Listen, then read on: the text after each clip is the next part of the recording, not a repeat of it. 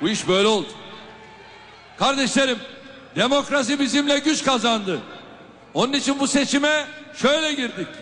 Büyük medeniyet yolunda insan, demokrasi, şehir dedik. İnsan, demokrasi, şehir. Üç başlık. Bunlar bizim için çok önemli.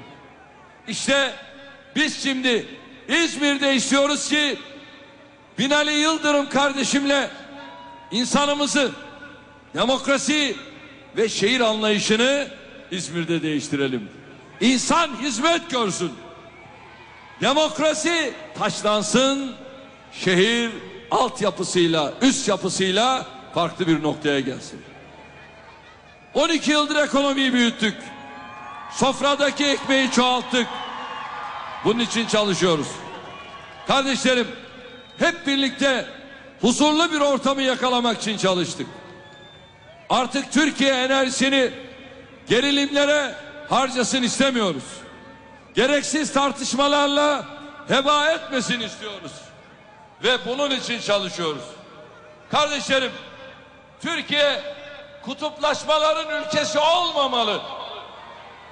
Ayrışmaların, çatışmaların ülkesi olmamalı. Yine istiyoruz ki herkes bir adım atsın. İmtiyazlarından vazgeçsin. Kimse kimseyi ötelemesin. Horlamasın. Aşağılamasın istiyoruz. Biz bunu istiyoruz. Ama karşımızdakilerden de bunu bekliyoruz. Kardeşlerim 77 milyon aynı bayrak altında aynı ortak geleceğe yürüsün. Bunu sağlamak için çalışıyoruz. Kardeşlerim Gazi Mustafa Kemal 23 Nisan 1920'de daha Kurtuluş Savaşı'nı yapmadan daha Cumhuriyeti ilan etmeden önce meclisi kurdu. Meclis bütün iradelerin üzerindedir dedi. Meclis Türkiye'dir dedi. Daha vefat etmeden sağlığında çok partili hayata demokrasiye geçmek için denemeler yaptı. Evet tıpkı ilk meclis gibi tıpkı Gazi Mustafa Kemal gibi bugün de yarın da meclis her iradenin üzerinde olacaktır. Türkiye hakkında her kararı meclis verecektir. Geçmişte olduğu gibi bugün de yarın da meclis sadece ve sadece sandık yoluyla belirlenecektir. Sandık dışında Türkiye'ye istikamet çizmeye çalışan her yol gayrimeşrudur. Kardeşlerim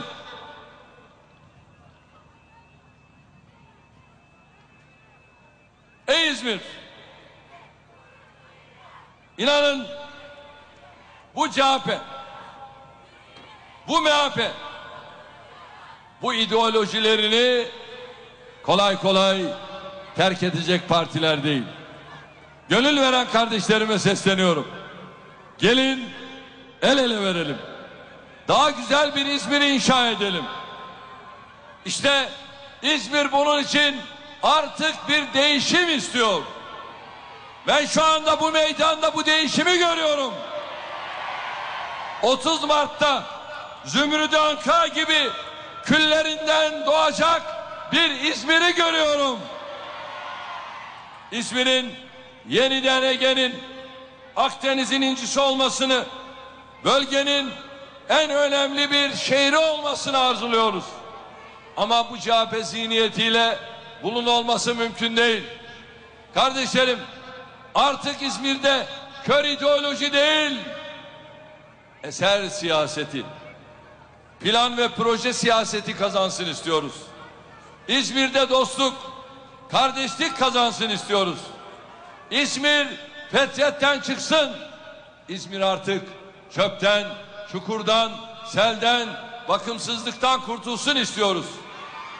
İzmir insanca yaşam şartlarına, insana hizmeti merkezine almış bir belediyecilik de buluşsun istiyoruz. Kardeşlerim, bakın 1950'lerde Demokrat Partililer her şehirde miting yaparken CHP'liler miting yapmaktan kaçınıyordu. Hatta bir CHP milletvekili aynen şunu söylemişti. Ben bütün yaşamımda hep devrimi ve şeflerimi düşündüm.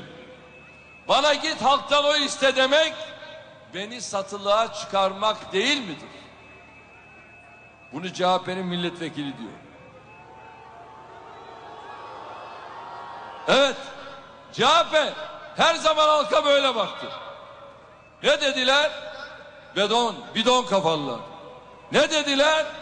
Göbeğini kaşıyan adam. Kime? Halka. Ey CHP, sen o halkı oradan çıkar bir defa. CHP, Cumhuriyet Halk Partisi. O halkı çıkar. Senin halkla işin yok. Önceki gün Sakarya'da konuşuyor. Kardeşlerim. Sakarya'da konuşuyor. Ne diyor biliyor musunuz Sakarya'da? Çok enteresan. Burada belediyeyi alırsak bu meydanın altını otopark yapacağız diyor. Ama çok enteresan. Ne var biliyor musunuz? O meydanın altını yıllar önce AK Partili belediye zaten otopark yapmış. Ya şimdi adamın haline bak ya. Yani oranın altında ne var ne yok bilmiyor. Fakat adamın adayı da bilmiyor. Yani kendisi de adayı da şehre bu kadar yabancı. İşte biliyorsunuz bundan önceki belediye seçiminde Kılıçdaroğlu İstanbul'dan Büyükşehir Belediye Başkan adayı oldu. Çok enteresan. Nüfusunu gitti Kağıthane ilçesine taşıdı. Kağıthane ilçesine taşıdı. Ne oldu biliyor musunuz? Tabi soruyorlar kendisine nerede oturuyorsunuz diye. Kağıttepe'de oturuyorum diyor. Ne oldu? Ardından sandığa da gidemedi biliyor musunuz? Allah Allah. Yahu yani bir aday seçimde oyunu dahi kullanamıyor. Şimdi soruyorum Allah aşkına. Yani sen adaysın oyunu dahi kullanamıyorsun. Ya bunun eline üç tane koyun verin kaybeder gelir. E, lokomotifi böyle olursa arkasından gelen vagonlar ne olur? Lokomotif nereye giderse vagonlar da oraya gider. Kardeşlerim ne olur gelin şu İzmir'i kurtaralım. Şu İzmir'i kurtaralım. Ardından ne diyor biliyor musunuz? O da çok enteresan. Mersin'i AK Parti'den alacağız diyor. Ya Mersin'de zaten CHP belediyesi var. Yani iyice şu anda dağıtmış vaziyette. Çünkü Pensilvanya ile aklını fena bozdu. Bundan dolayı da dağıttı. Herhalde Pensilvanya'dan gelen muskalar da tutmuyor. Bunlar halka, topluma, şehirlere bu kadar yabancı. Bunlar milletten işte bu kadar kopuklar. İstismarla korkutarak, sindirerek oy toplamaya çalışıyorlar. Şu anda İzmir'de de bunu yapıyorlar. Haberim var. Artık işi şiddete götürdüler. İstanbul'daki adayları bakıyorsun vatandaşı yumrukluyor ya. Belediye başkanı da mı vatandaşı yumruklar mı? Vatandaşın içinde birisi onu dinlerken alkışlamıyor. Teneke gibi burada ne duruyorsun diyor çek git. Ya bir belediye başkanı adayı vatandaş da bunu söyler mi? Ama bunlar bu. Bunlar bu. İşte mecliste geldi grup toplantısında bir vatandaş kendi partisinden kalktı dedi şunun hesabını verin. Orada adamcağızda söylenmedik laf bırakmadı. Apar topar gönderdiler. Bakın şimdi İzmir'de afiş asan AK Partili gençlere belediye meclis adayı şiddet uyguluyor. Moralleri çok bozuldu. Bunların sinirleri iyice gerildi. Kurdukları tuzak, kurdukları kumpas işe yaramadı. Onlar saldırdılar. Millet demokrasiye, sandığa, hükümete sahip çıktı. Onlar iftira attılar. Onlar kaset yayınladılar. Montaj yaptılar. Millet başbakanını işte görüyoruz daha fazla kucakladı. Kardeşlerim Biz işimize bakacağız. Biz laf değil, icraat üreteceğiz. Biz 77 milyonun hizmetkarı olarak hizmet üreteceğiz. Kardeşlerim,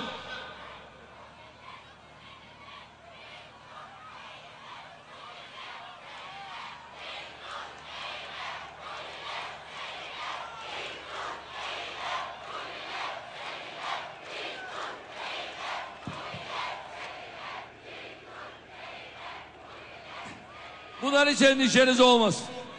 Hiç endişeniz olmasın. Bu can bu tende oldukça biz Allah'tan başka kimsenin önünde eğilmeyiz. Hiç endişeniz olmasın. Kardeşlerim ya bunlar o kadar dağıttılar o kadar dağıttılar ki bak dizide duydunuz değil mi? Ne diyor?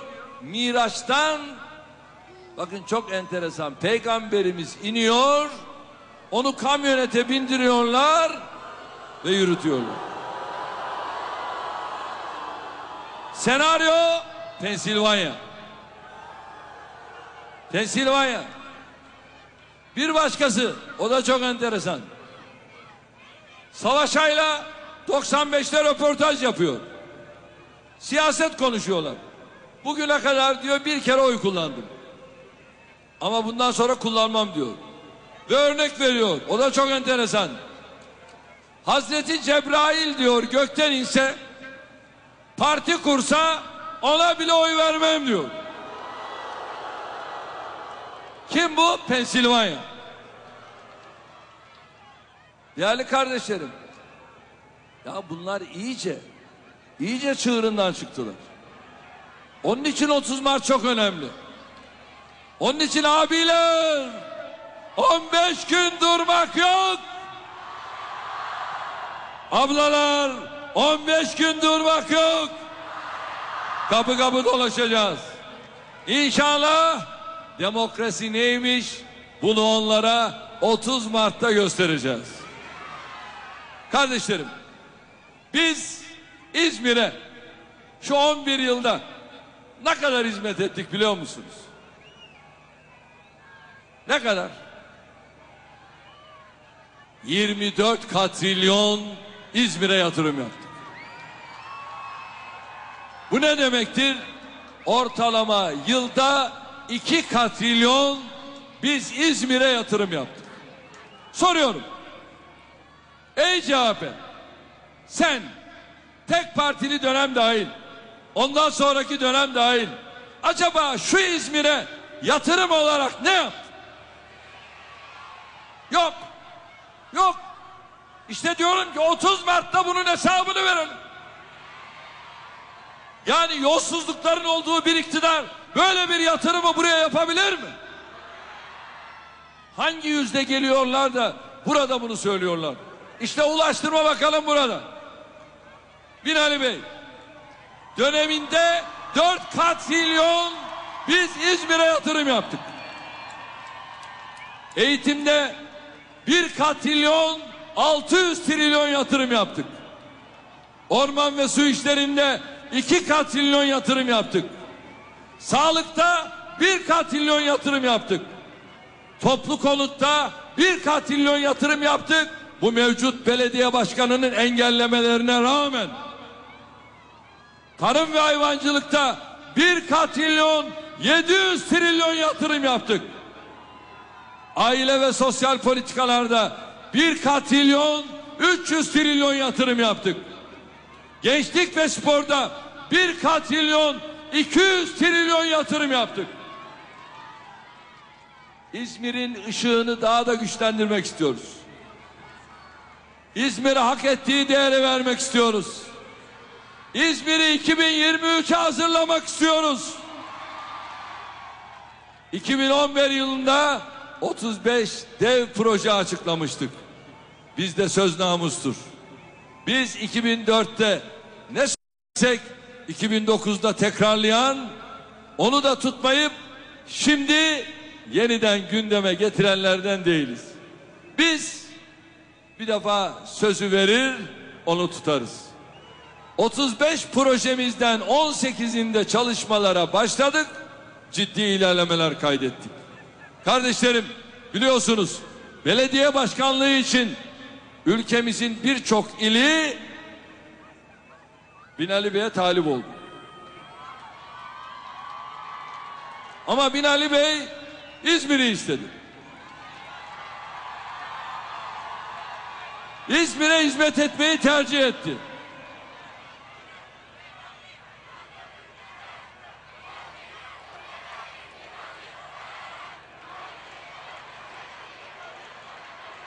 De bana ne dedi biliyor musunuz? Hayat İzmir dedi. Ve yüzyılın şehircilik hareketini başlatmak için yola koyuldu. Tam 1414 projeyle İzmirli kardeşlerimin huzuruna çıktı. Ekonomi, ulaşım, çevre, kentsel dönüşüm, sağlık, kültür sanat, teknoloji, sosyal alanlarda İzmir için tam 1414 proje. Altyapısıyla, üst yapısıyla. Artık inşallah hava kirliliği olan bir İzmir görmeyeceğiz. Susuz bir İzmir görmeyeceğiz. Kanalizasyonların böyle aktığı bir İzmir görmeyeceğiz. İnşallah çirkin yapılanmanın, yapılaşmanın olduğu bir İzmir görmeyeceğiz. İnanın bakın biz biliyorsunuz İzmir'i şöyle tanıdık. İlk fuarı açan şehrimiz olarak. Değil mi? Allah aşkına soruyorum sizlere. Şu anda İzmir fuarı fuardan başka her şeye benzemiyor mu? Böyle bir şey olabilir mi ya? Bu nasıl bir belediyeciliktir ya? Çünkü bunların derdi yok. Bunların bu ülkeye sevdası yok. Aşkı yok. Bunlar her yerde yıkmaktan yana. İnşa etmekten yana değil. İnşa etmek bizim işimiz. İşte 80 kilometrelik Egeray projesini yapamadılar. Yolda kaldı. Dedim ki Binali, kardeşim dedim Egeray'ı Ulaştırma Bakanlığı olarak biz tamamlayalım. Egeray'ın yanında tabi diğer dev bir proje daha vardı. Onun da halledilmesi gerekiyordu. Değerli kardeşlerim, dedim ki bu konuyla ilgili olarak bu iki projeyi de sen üstleneceksin, alıp götüreceksin. Ve o projeyi de sağ olsun bitirdi ve geldik Sayın Kılıçdaroğlu ile beraber o açılışı yaptık. O da havasını atıyor. Ya. Sen bir şey vermedin ki. Senin belediyen vermedi ya. Biz yaptık biz. Kardeşlerim inşallah Cuma Ovası Torbalı arasını da bu projeye ekledik. Bu yaz hizmete alıyoruz. 26 kilometrelik Torbalı Selçuk kesiminin ihale süreci tamamlandı. Yakında inşasına başlıyoruz. 50 kilometre uzunluğundaki Ali Ağa Bergama kesiminin projesi tamamlandı. 35 kilometrelik Menemen Manisa kesiminin ise proje çalışmaları devam ediyor. Böylece Ali Ağa'dan başlayıp Manisa'ya kadar uzanan 191 kilometre uzunluğunda bir kent içi banliyö sistemini hayata geçiriyoruz. Tabii şimdi bir şeyi bekliyorsunuz biliyorum. O da yüksek hızlı tren. İzmir Ankara arasını üç buçuk saate düşürecek. İzmir, Manisa, Uşak, Afyonkarahisar, Ankara yüksek hızlı treninin yapımına Afyonkarahisar'dan başladık. Dört gün önce yeni Ulaştırma Bakanımız Lütfü Elvan Bey, Binali Bey ile birlikte Ege sanayisi için lojistik ve demir yolu taşımacılığı için çok önemli bir hat olan 27 kilometrelik Kemalpaşa Turgutlu yeni demir yolunu hizmete açtılar. Ve geldik İzmir metrosuna. İzmir metrosunun mevcut 12 kilometrelik hattını 71 kilometreye çıkarıyoruz. Bunu şu andaki belediye başkanı yapabilir mi? Onun ne hayali ne de parası buna yetmez. Yetmez. Yeni metro hatları sayesinde İzmirliler konforlu, hızlı ve güvenli bir toplu ulaşım sistemine kavuşuyor. Kardeşlerim 12 yılda İzmir'e 238 kilometre bölünmüş yol yaptılar. Kardeşlerim 4255 kilometre asfalt yol ve 26 adet köprü yaptık. İzmir Aydın, İzmir Çeşme otoyollarını, İzmir çevre yolunu biz tamamladık. Biz İstanbul İzmir otoyolu inşallah zaten bu işin tacı olacak. Ve dün onun işte adımlarını attık. Değerli kardeşlerim, benim sizden artık isteğim şu. İzmir İstanbul otoyolu 433 kilometre. Bu otoyol tamamlandığında iki kent arasındaki mesafe demin söyledim üç buçuk saate inecek. Şu güzelliğe bak ya. Şu huzura bak ya. Modern Türkiye bu. Kardeşlerim lafla modern Türkiye olmaz. Lafla modern İzmir olmaz. Hizmetle olur. Hizmetle. Otoyol bittiğinde İzmir Bursa ne oluyor biliyor musunuz? İki buçuk saat. İki buçuk saat. Ve Manisa İzmir kesiminde 56 kilometrelik Kemalpaşa ayrımı İzmir bölümünün yapım çalışmaları devam ediyor şu anda. Biz yapıyoruz. Ayrım ayrım yok. Aynı şekilde 1747 metre uzunluğunda ve çift tüpten oluşan Bel Kahve tünelinde kazı çalışmaları sürüyor. Geliyorum Sabuncu Beli tüneline. Toplam proje uzunluğu 6480 metre. Bu tünelle Manisa İzmir arasını 15 dakikaya indiriyoruz. Nasıl? Biz yapıyoruz biz. İzmir'deki bir başka gurur projemiz gerçi bunları sizlere hep Binali Bey anlattı televizyonlarda filan ama ben de şöyle biraz neşeneliyim diyorum. Konak Tüneli. O da hızla devam ediyor. Biz yapıyoruz. Yani İzmir Büyükşehir Belediyesi değil ha. Biz. Bitmiyor. İzmir Çandarlı Otoyolu'nun Çiğli Ali Ağa kesimiyle ilgili proje çalışmalarını tamamladık. Ali Ağa Çandarlı arası devam ediyor. İzmir Antalya arasını otoyol ile birleştiriyoruz. Yeni otoyolun hayata geçmesiyle birlikte Denizli İzmir arası 2 saat 15 dakikaya. İzmir Burdur arası 3,5 saate, İzmir Antalya arası da 4 saat 15 dakikaya iniyor. Böylece 501 kilometre uzunluğundaki İzmir Ankara otoyolunun proje çalışmaları devam ediyor. Bu yıl sonuna kadar proje çalışmalarını bitiriyoruz. Somut adımları da inşallah bunun arkasından atıyoruz. Tabii önemli bir proje daha var. İzmir Çeşme Deniz Otoyolu.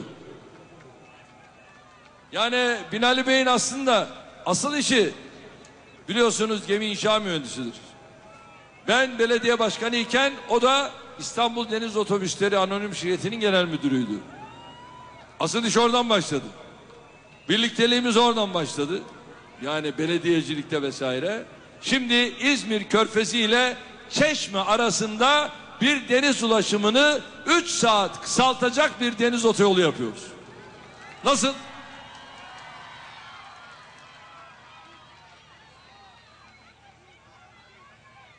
Şimdi tabii bu arada ben İstanbul kanalı dedim ya Kanal İstanbul.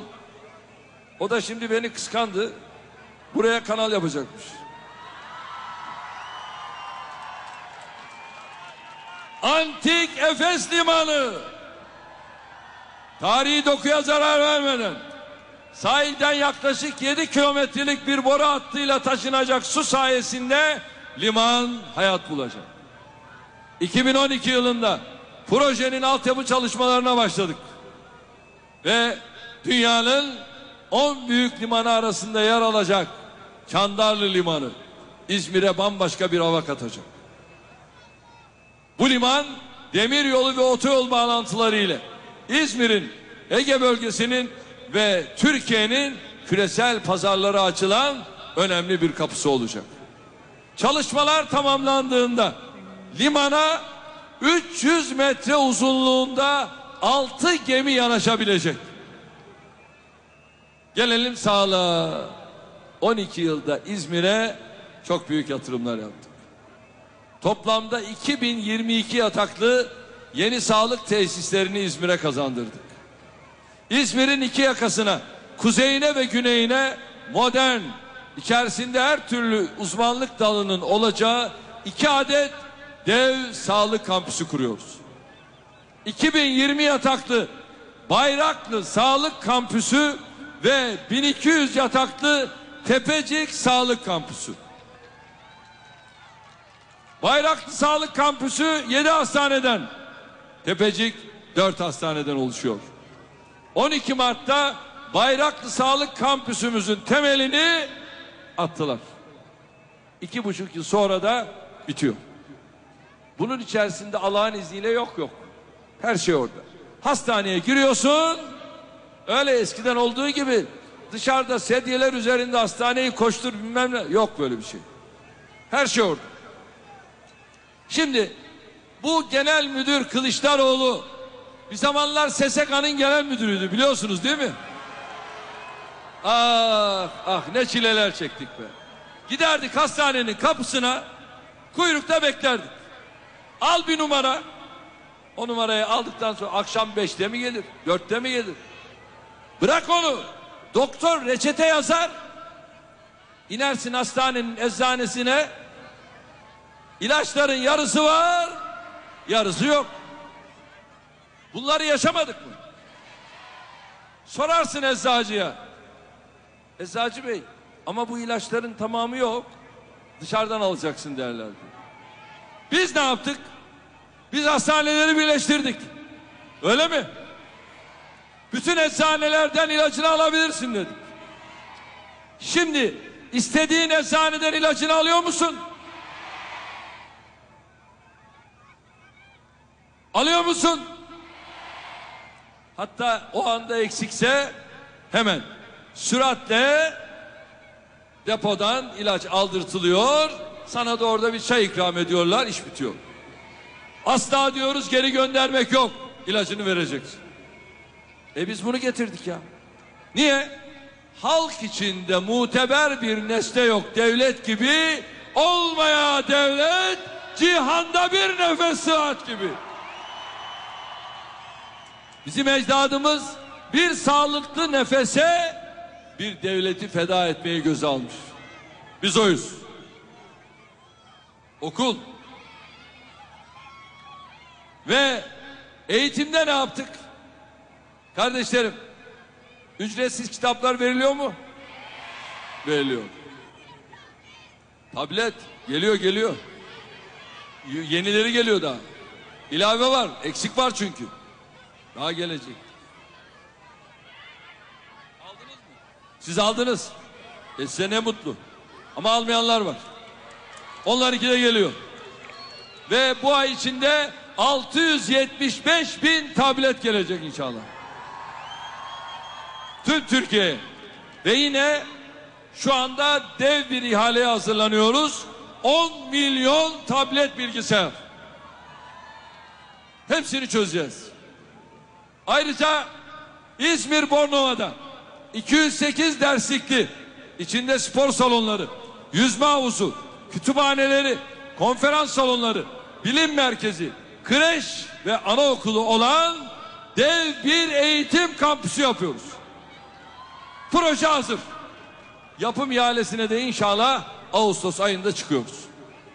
Kardeşlerim, büyük şehrin bütün engellemelerine rağmen TOKİ kanalıyla İzmir'e 15'er toplamda 30 bin seyirci kapasiteli iki stadyum yapıyoruz. Birinin ihalesini yaptık. Diğerinin ihale süreci devam ediyor. İnşallah en kısa sürede yapımına başlıyoruz. 2003 yılında 2 milyon 300 bin yolcu ağırlayan Adnan Menderes Havalimanı'nın yolcu sayısında birkaç yıl içinde dört kat artış oldu. Bu nedenle İzmir'e yetmeyen Adnan Menderes Havalimanı'nı da modern bir yapıya kavuşturmak için çalışmalarımıza başladık. Ve yap işlet devletle 245 milyon avro yatırım yapılan yeni terminal binası 20 milyon yolcu kapasitesi ile İzmir'e hizmet verecek. Ve Pazartesi günü bu yeni terminal binasının açılışını yapıyoruz. İzmir'imize hayırlı olsun. Ege'ye hayırlı olsun. Akdeniz'e hayırlı olsun. Ülkemize hayırlı olsun. Kardeşlerim, Adnan Menderes Havalimanı biz gelmeden önce neydi? Öyle değil mi? Gece kondu. İzmir'e yakışıyor muydu bu? İzmir'e yakışanı biz yaptık. Şu andaki mevcudu ve daha sonra da iç hatları biliyorsunuz değiştirdik. Onu da şu andaki hale getirdik ve böylece kapasiteyi büyüttük. İnşallah daha iyi olacak. Daha güzel olacak. İzmir'e yakışan neyse o olacak. Sevgili İzmirliler, tabi anlatılacak çok şey var. Ama şimdi bundan sonra ben diyorum ki Binali kardeşimi size emanet ediyorum. 1414 projeyi istiyorum ki beraber hayata geçirelim. 15 gün var. Ablalar çok çalışacağız değil mi? Abiler çok çalışacağız değil mi? Hatta ben biraz daha ileri gidiyorum. Diyorum ki bu Pensilvanya'nın dershanelerinde okuyanlar varsa veya çocukları oralarda okuyanlar varsa çocuklarımızı oralardan çıkaralım. Okullarında okuyanlar varsa çıkaralım. Şimdi milli eğitim olarak bir adım atıyoruz. Kızlarımıza, çocuklarımıza hafta sonlarında ücretsiz olarak biz ders vereceğiz. Milli Eğitim Bakanlığı ders verecek. Anne, baba ne istiyorsa onlara biz Milli Eğitim Bakanlığı olarak bu dersi vereceğiz. Tamam? Tamam? Kardeşlerim çok sömürdüler. Ben bazen hani söyleniyor sülük gibi emdiler deniyor ya. Fakat sülük zararlı kanı emer. Bunlar faydalı kanı emdiler. Bunlar böyle. Ve şu anda biz seferberliğimizi yaptık. Her türlü hazırlığımızı yapıyoruz. Ve bunların yayın organlarını da evlerinize sokmayın. Bunların gazetelerini evlerinize sokmayın. Bunlara gereken dersi hep beraber milletçe verelim. Neyin ne olduğunu anlasınlar. Evet. Binali Yıldırım kardeşim size emanet. 30 Mart akşamı sizden müjdeyi bekliyoruz. Durmak yok. Durmak yok. Durmak yok. Allah razı olsun. Hazır mıyız?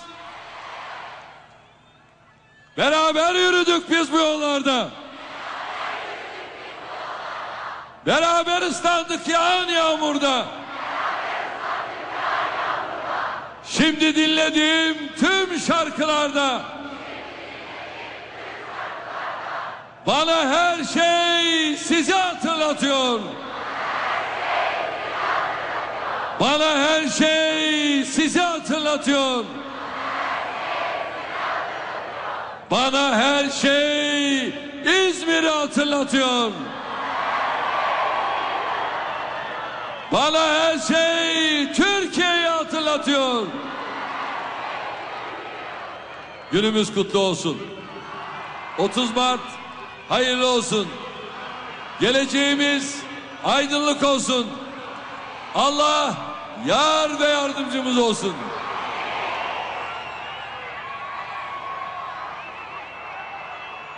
Genel Başkanımız Başbakanımız Recep Tayyip Erdoğan'a konuşmalarından dolayı teşekkür ediyoruz ve mitingimizi onurlandıran değerli konuklarımızı sizlere takdim etmek istiyoruz.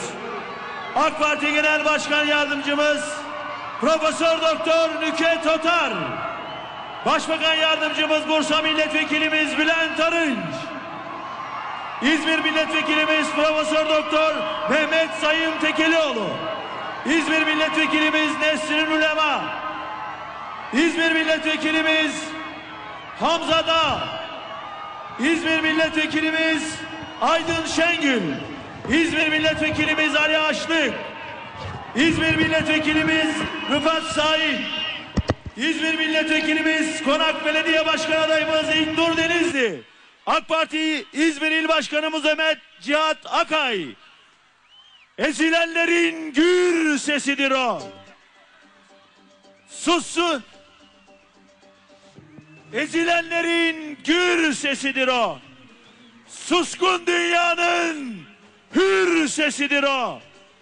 Göründüğü gibi olan, gücünü milletten alan Recep Tayyip Erdoğan.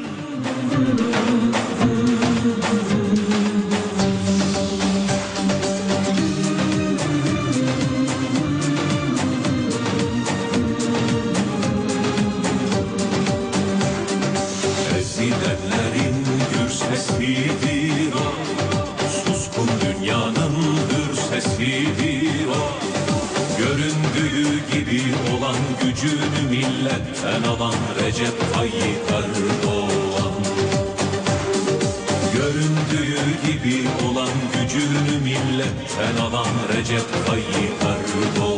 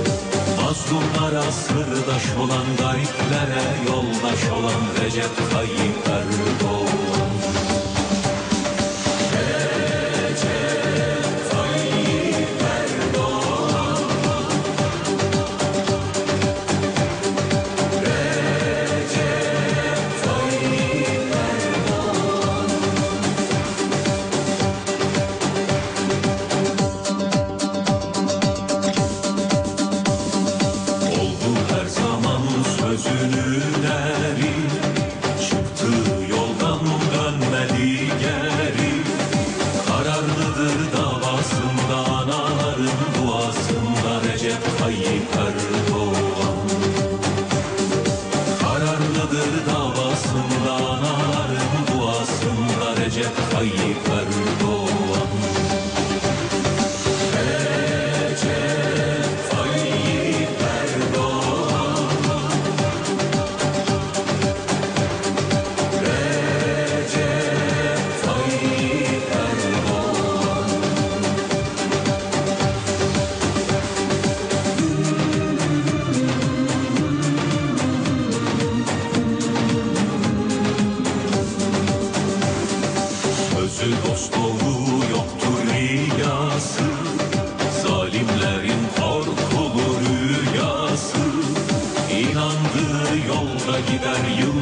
beklenen lider Recep Tayyip Erdoğan.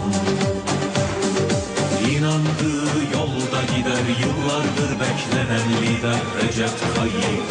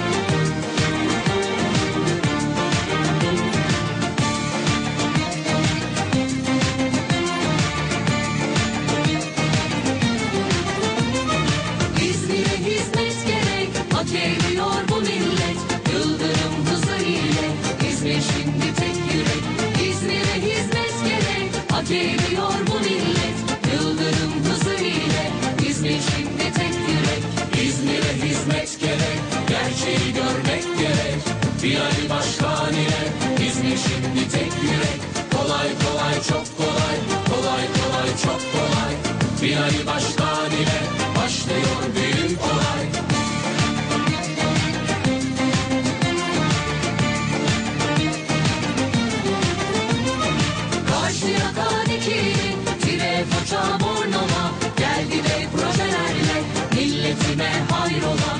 Yüzyılın hareketi İzmir'in bereketi. Bir Ali Başkan ile Milletime hayrola? İzmir'e hizmet gerek Gerçeği görmek gerek. Bir Ali Başkan ile İzmir şimdi tek yürek. Kolay kolay çok kolay Kolay kolay çok kolay. Bir Ali Başkan ile Başlıyor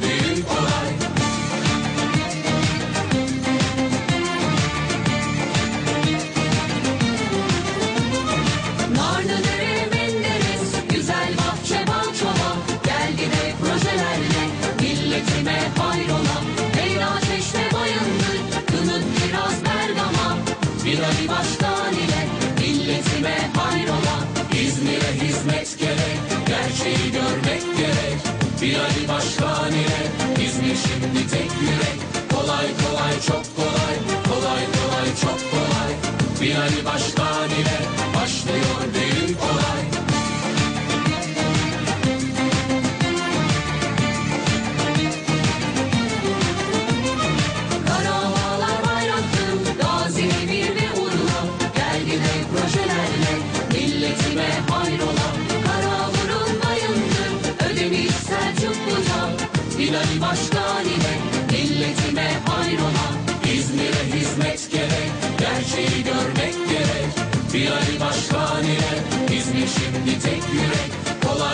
kolay çok kolay Kolay kolay çok kolay Bir Ali Başkan ile Başlıyor büyük olay İzmir Türkiye'ye lazım.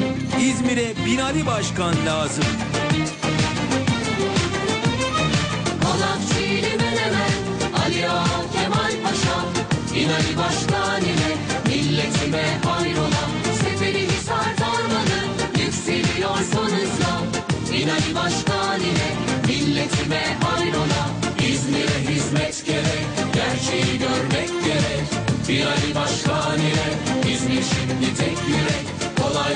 Çok kolay Kolay kolay çok kolay Bir Ali Başkan ile Başlıyor büyük olay Teşekkürler İzmir.